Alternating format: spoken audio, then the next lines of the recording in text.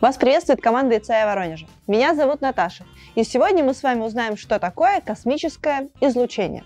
Космическое излучение – это фоновое ионизирующее излучение, состоящее из первичного излучения, поступающего из космического пространства, и вторичного, возникающего в результате взаимодействия первичного излучения с атмосферой.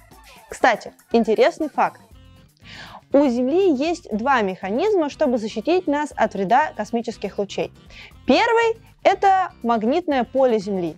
Оно отклоняет заряженные частицы, когда космические лучи приближаются к Земле. А второй механизм – это защитная атмосфера Земли. Она не только поглощает большую часть инфракрасного и ультрафиолетового света, но и взаимодействует с космическими лучами. Ту-ту-ту.